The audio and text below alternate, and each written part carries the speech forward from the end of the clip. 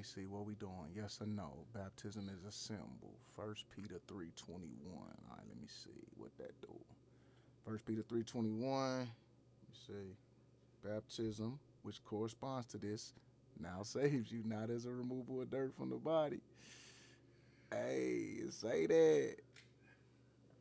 Nope, nope, not a symbol. Wow. All right, number two, spirit baptism, Galatians 3 27. Now, let me see what that do. Galatians 3 27. Yup, yup, yup.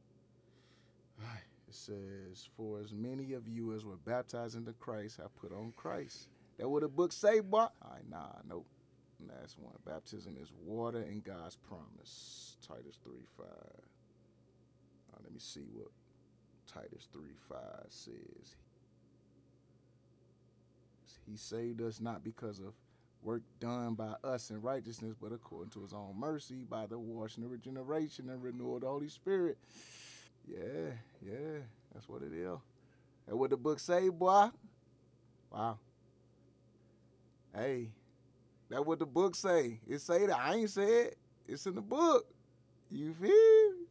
it is what it is. Wow. Praise God though.